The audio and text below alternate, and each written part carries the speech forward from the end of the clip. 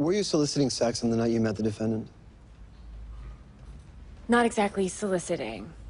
I was at a bar having a few drinks, and uh, he, the defendant, started flirting with me. It felt good. I like when men notice me. You know, so used to being an athlete. It's nice to be noticed just as a woman. What, I, what, I'm, trying to say is, uh, I like the attention. We got a room. Okay. Did you tell him that he had to pay you to have sex with you? No. Uh, he just uh, assumed that was the deal. And I went along with it. So you got a room. What happened next? Um, we started having sex. Then he started getting rough. He started hitting me. I told him no. That I wanted him to stop. And that made him more aggressive. And then he started to do um, other things. Other things like what? I, um, I told him I didn't want to have anal sex. And he, uh, he started laughing. And then he, he, he, he did it anyway. So you told him you absolutely did not want to have anal sex, but he did it anyway. Yes. And when he was done, he threw money at me. I didn't take it. I was, I was hurt. And I was, I was bleeding. It's... I just ran out of the room.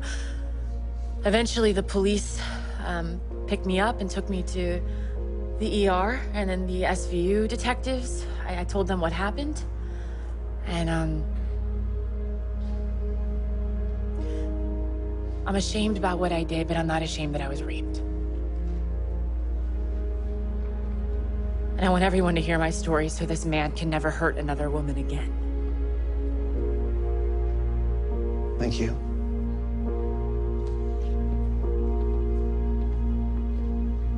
You didn't make it to Rio. Is it fair to say you were virtually unknown to the public before you falsely accused my client of this crime? Objection, relevance. I'm getting to it, Your Honor. Get there quicker, Mr. Varma. Happy to. This is all just an elaborate publicity stunt, isn't it? Once my client outed you as a prostitute, your career was over. So you accused him of rape. And now you are hoping to capitalize on your newfound and sordid celebrity status. No, I would never want this kind of publicity. Everybody is talking about you. Everybody is looking at you, looking at your body. You just said you like being seen as a woman.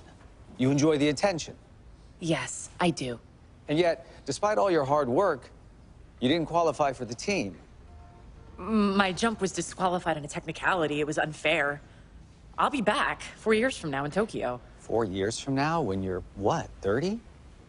If you do qualify, if the governing body doesn't ban you for being a prostitute. But I suppose my real point here is your body is never going to look as good as it does right now. Objection? I, I, I would actually like to answer that. My body will look great four years from now. Better. Because I work hard. Harder than you can imagine. Oh, for a change. I believe you there. I believe it is incredibly hard work. That's why you wanted to show it off on the night that you met Michael Wheeler. Objection, badgering. I'm following a line of defense here, Your Honor. Overruled. Uh, witness may answer. Yes. I wanted to, to, to show off. And then he rejected you. He wasn't as impressed by your body as you wanted him to be. He said that you were too muscular, too masculine. And that's when you cried rape to get back at him. Objection. How dare you use... How dare you? Who do you think you are? He said that he loved my body. Everyone tells me that they love my body. I am 5'9", 112 pounds. I bench press 150 Honor, pounds. I need a I recess. squat 225, 10 reps. what- my body what- is what are you perfect. doing? What- Your Honor, what- I need a Ms. recess Miller, immediately. Ms. Miller, what are you? What, Better than I I think you need have some order. Your Honor. Ms. Miller, cover yourself. Your Honor. Stay left. We're adjourned for the day. Screw you and your son of a bitch client. My body's perfect. I'm perfect. Perfect.